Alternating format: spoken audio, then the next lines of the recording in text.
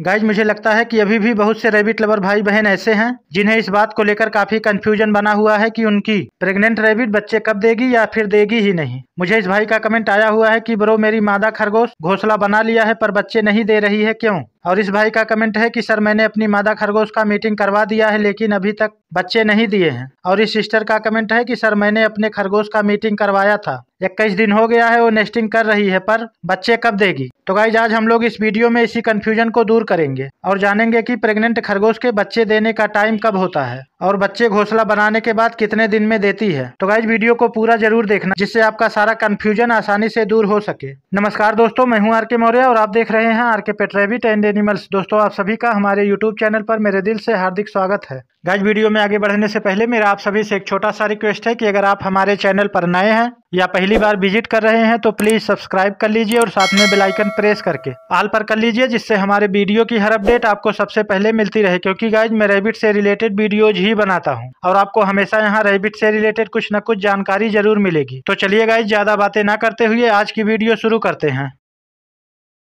Guys, मादा खरगोश घोंसला बनाने के बाद बच्चे कब देती है? ये जानने से पहले हमें ये जानना ज़रूरी है कि हमें अपनी मादा खरगोश का मीटिंग करवा देने के बाद किन किन बातों का ध्यान रखना ज़रूरी है। नंबर वन वेट करना और सब्र करना। गाइज़, अभी बहुत से रेबिट लवर भाई बहन जो नए हैं, वो अपनी मादा खरगोश का मीटिंग करवा देने के बाद एकदम से उतावले हो जाते हैं। और जब उनकी मादा खरगोश का प्रेगनेंसी पीरियड बीस से पच्चीस दिन का ही होता है, तब तब से ही वो एकदम से उतावले हो जाते हैं और ये सोचने लगते हैं कि उनकी मादा खरगोश बच्चे कब देगी। जबकि उन्हें इस बात का भी ध्यान नहीं होता है कि अभी उसका प्रेगनेंसी पीरियड 20 या 25 दिन का ही हुआ है। जबकि गाइज़ आप सबको तो बहुत अच्छे से पता ही है कि मादा खरगोश उनतीस से बत्तीस दिन में ही बच्चों को डिलीवर करती है। फिर वो आपके उतावले होने पर या जल्दबाजी करने पर बच्चे कैसे दे सकती है? नंबर टू घोसला बनाने के बाद की टेंशन गाइज़ बहुत सी मादा खरगोश कभी कभी प्रेग्नेंट हो जाने के बाद, एक हफ़्ते के बाद ही मुँह में तिनके वगैरह रखकर घोसला बनाने लगती हैं। फिर एक दो दिन बाद वो बंद कर देती हैं और फिर कुछ दिन बाद वो नेस्टिंग करने लगती हैं, फिर नॉर्मल हो जाती हैं। तो इसी में काफ़ी सारे रेबिट लवर भाई बहन कंफ्यूज हो जाते हैं कि वो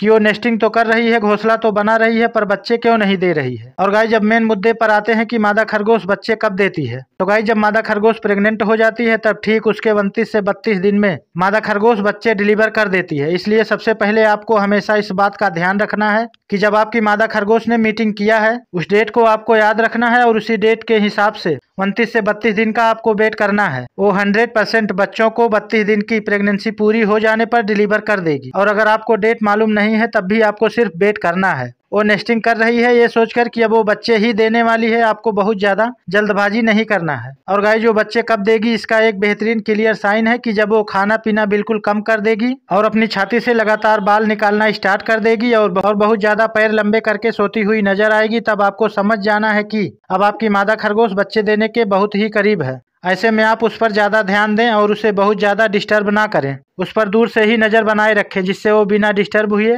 रिलैक्स होकर बच्चों को टाइम पूरा हो जाने पर डिलीवर कर सके। और गाइज़ एक खास बात कि अगर आपकी मादा खरगोश नेस्टिंग कर रही है और बाल भी निकाल रही है और उसका मीटिंग करने का समय बत्तीस दिन से भी ज़्यादा हो गया है या फिर चालीस या पचास दिन या फिर दो महीने तक, तब आपको ये समझना है कि वो फाल्स प्रेगनेंसी का शिकार है और वो फेक नेस्टिंग कर रही है। तो गाइज़ आपकी मादा खरगोश के प्रेग्नेंट हो जाने के बाद उसके बच्चे देने तक आपको इन्हीं छोटी छोटी बातों का ध्यान रखना है और आपको बहुत ज़्यादा जल्दबाजी नहीं करनी। है और गाइज़ वीडियो पसंद आने पर लाइक एवं चैनल को सब्सक्राइब ज़रूर करें। और रेबिट से रिलेटेड आपका कोई भी डाउट हो तो आप हमें हमारे इंस्टाग्राम पर डायरेक्ट मैसेज कर सकते हैं। हम आपके मैसेज का रिप्लाई देने की, आपकी हेल्प करने की पूरी कोशिश करेंगे। तो चलिए गाइज़ मिलते हैं किसी नेक्स्ट वीडियो में किसी और जानकारी के साथ। तब तक के लिए जय हिंद।